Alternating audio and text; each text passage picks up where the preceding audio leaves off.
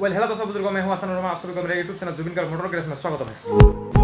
Subscribe करने के बाद घंटा बजाएँ ताकि आप दूसरा घंटा बजाएँ ताकि आप दूसरा अपडेट के बाद घंटा बजाएँ ताकि आप दूसरा अपडेट घंटा दोस्तों मैं यहाँ से आप लोगों को बताने वाला हूँ Tata S B S three का जो रेडिएटर का फ़ैन ऑटोमेटिक नहीं घूमता है। तो आप लोग डायरेक्ट करते हो। तो उसके बाद डायरेक्ट करने के बाद किस तरह घूमना चाहिए? लेफ़्ट साइड घूमना चाहिए राइट साइड घूमना चाहिए? तो प्लीज़ इस वीडियो को लास्ट तक देख लीजिए। आप लोगों को पता चल जाएगा किस तरह घूमना चाहिए और उल्टे तरीके से घूमेगा तो फिर क्या प्रॉब्लम होगा? इस वीडियो में आप लोगों को पता चल जाएगा। प्लीज़ लास्ट तक देख लीजिए। और जो लोग सब्सक्राइब नहीं करके देखते हैं, उन लोगों को रिक्वेस्ट में प्लीज़ सब्सक्राइब करके मेरा इस वीडियो को लास्ट तक देख लीजिए और ऐसे अच्छा अच्छा वीडियो मिलते रहेगी। और प्लीज़ एक लाइक कर दीजिए और कमेंट कीजिए। इस वीडियो को कैसा लगा? दोस्तों ये है Tata S S G P S three का जो फ़ैन रेडिएटर का फ़ैन है फ़ैन का कंट्रोलर ये दोनों देख सकते हो। तो ये दोनों ख़राब हो चुके हैं। तो कभी कभी फ़ैन ऑटो ऑटोमेटिक घूमता है कभी कभी नहीं घूमता है। तो इसलिए गाड़ी हीट होता है। तो ये ऑटो कंट्रोलर ख़राब होने के बाद ऑटोमेटिक फ़ैन कभी कभी नहीं घूमता है। और कभी कभी घूमता है, ये ठीक होने के बाद ये कंट्रोलर देख सकते हो। और आपका गाड़ी का जो फ़ैन ऑटोमेटिक नहीं घूम रहा है तो पहले ये ऑटो ये कंट्रोलर है, इसको भी चेक करना है। और जो वायरिंग भी है, वो वायरिंग भी चेक करना है। और देख लीजिए, ये ऑटो कंट्रोलर का सीरियल नंबर यहाँ पर दिया हुआ है, देख सकते हो। ये फ़ैन का ऑटो कंट्रोलर है। तो और जो ये फ़ैन जब नहीं घूमते हैं, आप लोग, और मैं भी डायरेक्ट करता हूँ। और ये फ़ैन डायरेक्ट करने के बाद फ़ैन किस तरह घूमना चाहिए लेफ़्ट साइड घूमना चाहिए राइट साइड घूमना चाहिए इस वीडियो में आप लोगों को बताने वाला हूँ और दिखाने वाला हूँ। और उल्टे तरीके से घूमेगा तो फिर क्या प्रॉब्लम होगा, आप लोगों को बताने वाला हूँ। और देख सकते हो, मैं भी इस गाड़ी में डायरेक्ट किया था। तो ये दूसरे बंदे ने कर दिया तो इसको मैंने ठीक किया। अभी इसका उल्टी तरीके से घूमना शुरू कर दिया था। तो उसके बाद इसका प्रॉब्लम शुरू होने लगा। तो मैंने ये ऑटो कंट्रोलर मेरा पास था, एक सेकेंड हैंड वाला। इसको लगा के मैंने चेक किया फ़ैन किस तरह घूमना चाहिए देख सकते हो, यहाँ पर ऑटो कंट्रोलर भी फिटिंग कर दिया।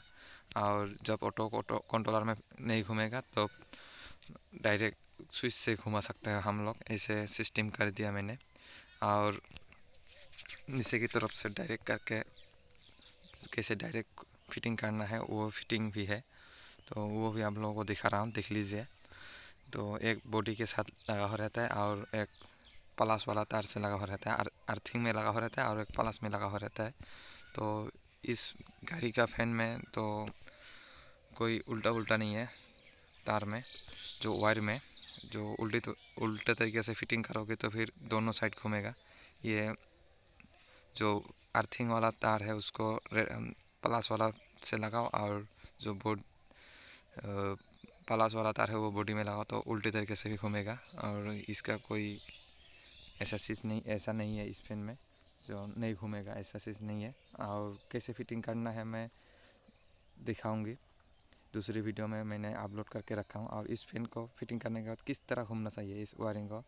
फिटिंग करने के बाद राइट साइड ऐसे घूमना चाहिए और लेफ़्ट साइड ऐसे घूमना चाहिए। कैसे घूमना चाहिए? ऐसे राइट साइड घूमना चाहिए फ़ैन या ऐसे लेफ़्ट साइड घूमना चाहिए। किस तरह घूमना चाहिए, आप लोग इसको चेक करके फिटिंग कर सकते हो। कोई प्रॉब्लम नहीं है, ऐसे लेफ़्ट साइड घूमना चाहिए। तो एक्सल में ये ऐसे घूमेगा तो फिर आपका जो रेडिएटर का पानी हीट हो जाएगी। और ऐसे घूमेगा लेफ़्ट साइड तो रेडिएटर का फ़ैन का जो पानी है वो हीट नहीं होगी। और ऐसे राइट साइड घूमेगा तो रेडिएटर का पानी हीट होगी पाइप हीट होगी। लेफ़्ट साइड ऐसे घूमेगा तो फिर पानी हीट नहीं होगी। ठंडा रहेगी। इस गाड़ी में ये फिर मैंने नया लगा दिया, डाल दिया, देख सकते हो। और ये फिटिंग किया ऑटो कंट्रोलर के साथ और ये फ़ैन के साथ मैंने फिटिंग किया। ऐसे राइट साइड घूमना नहीं चाहिए देख सकते हो, ऐसे राइट साइड घूमना नहीं चाहिए मैं लाइव प्रूफ आप लोगों को दिखाऊँगी। तो साबित देने के बाद ये ऑटोमेटिक घूमेगा।